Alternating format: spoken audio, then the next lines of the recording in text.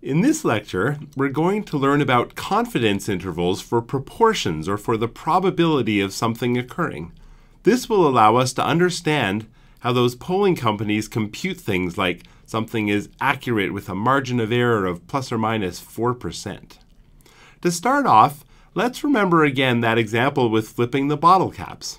If we flip a cap a thousand times and get 576 red, what does that tell us about the true probability of getting red when you flip the cap?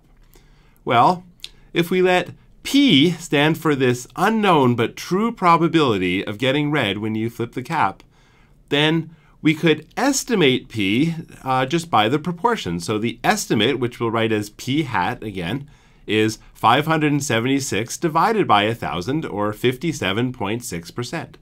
But the question is, how confident are we? How sure are we that P really is how close to 57.6%? Well, with everything we've learned so far, we can figure this out. We already know that the distribution of P hat has a mean and a variance. In fact, the mean of P hat, or expected value, is equal to P, so that's good. The variance of P hat, well, we worked that out previously, and that works out to P times 1 minus P, all divided by N, where N is the number of samples, which in this case is 1,000.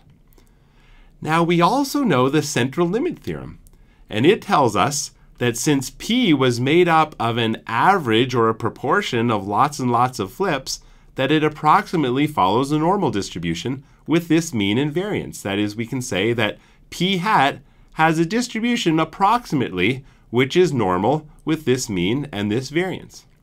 Now we can do a little bit of manipulation. If we subtract off the mean and divide by the square root of the variance, then we get a quantity which has approximately the standard normal distribution.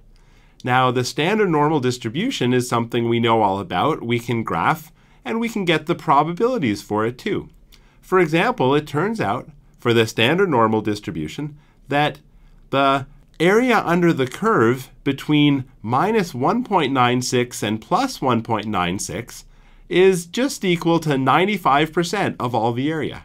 So it means usually, if you have a normal distribution, you'll be between minus 1.96 and plus 1.96, which means that only 5% of the time will you be farther away than that. So in other words, the probability that this quantity, which has approximately a standard normal distribution, will be more than 1.96 is approximately equal to 5% or equal to 0.05.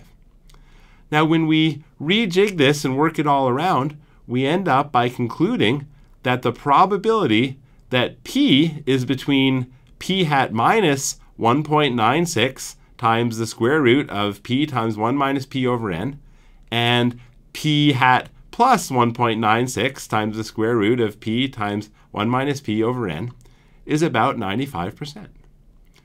Now, this is what we will call a 95% confidence interval. We're saying that we're 95% confident that the true unknown value of p is somewhere in this interval. Now, of course, the true value of p isn't random. It's really more p hat that's random because we did a random sample by flipping that bottle cap over and over again in order to try to compute it.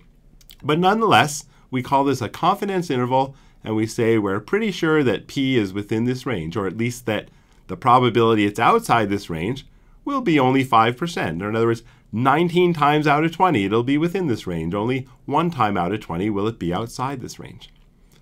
Now, if we understand what we did for the bottle cap, then it's easy to do it in general. We can say if we have any uh, experiment with a certain probability of, let's call it success, like getting red, let's say, and if we experiment and get n different um, experiments or trials, and then we say, well, Let's look at the proportion of successes. So the number of successes divided by the number of trials.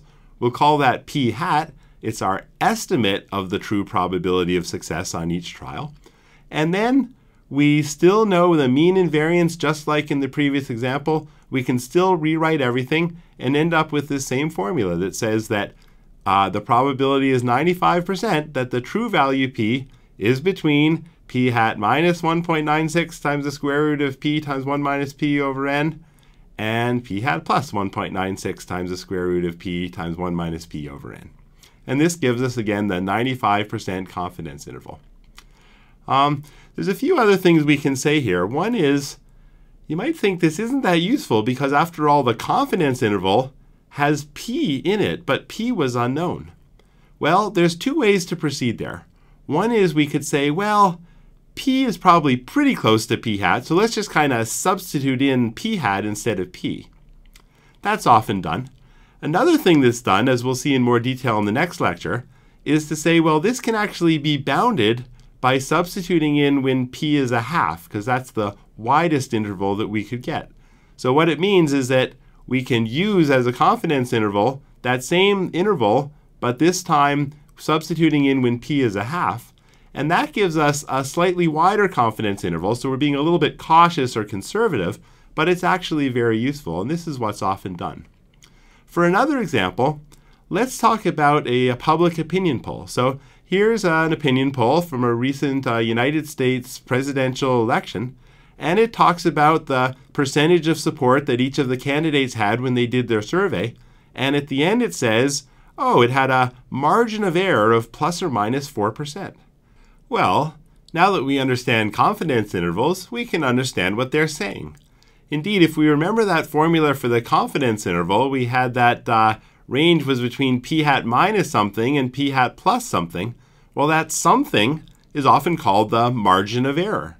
And indeed, if we compute in this case, we can say, well, the margin of error, when we stick in the, uh, the conservative assumption that p is a half, then we compute the margin of error to be just a little bit more than 4%. So that's why that uh, opinion poll said that the margin of error was plus or minus 4 percentage points. They meant that when you compute the half width of the 95% confidence interval, that it does indeed work out to be approximately 4%. Now you might think, why do we have to stick to this 95% confidence interval? Or why do we have to find a, an interval such that the quantity is in it 19 times out of 20? The answer is you don't. You can compute any confidence that you want just by going back to that graph for the normal distribution and saying, well, we knew that if you were at plus or minus 1.96, then you'd have about 95% of the area but you can do differently. For example, if you just do between minus 1.645 and plus 1.645, then you'll still get about 90% of the uh, area. So you can use that value to make 90% confidence intervals. Or if you want to be more careful, and you go from minus 2.576 up to 2.576, then you'll get about 99% of all the area underneath the curve and that's the way to get 99% confidence intervals. Indeed, for any value of alpha, if you want to make sure that the probability that you're wrong is only alpha, you can find a value, sometimes called z sub alpha over 2, such that the area under the normal curve, which is less than minus z sub alpha over 2, is equal to alpha over 2. And then if you take the interval from minus z sub alpha over 2 to plus z sub alpha over 2, then that will contain 1 minus alpha of the area. That is, the part you miss will only be alpha. And that's a way to get confidence intervals at the confidence level 1 minus alpha. So if we go back one more time to that experiment with the bottle caps, well, in that case, n was 1,000, and the number of successes was 576. And in this case, well, if we want a 95% confidence interval, then it would go from p hat minus 1.96 times the square root of p times 1 minus p over n, but when p equals a half, um, which is from 54.5% up to that same thing plus the 1.96, which in this case is a little over 60%. So we can say we're 95% confident that the true value of p, when you flip that bottle cap of getting red, is within this interval. If we didn't want to be quite so certain, but just 90% certain, then we could take the interval where instead of 1.96, we'd use 1.645, and we get an interval that way, which would be a little bit uh, narrower because we're pretty sure, although not quite as sure, that it's in this narrower range. If we wanted to be really careful and wanted to be really sure, we wanted to be 99% confident, then we would take a wider interval, this time using the value 2.576, in order to get a confidence interval which is a little bit wider, but we're even more confident that the true value of p is somewhere in this range. So in this way, we can see that there's a bit of a trade-off between how certain we want to be and how small an interval we want to be, how accurate we want to be. But nonetheless, we can see that by using this idea of confidence intervals, we can understand once we do an experiment what it really means. So the proportion is probably pretty close uh, to the true value, but not exactly there. And this gives us an interval that we can say we're quite confident that the true value is somewhere in this interval, this uh, confidence interval.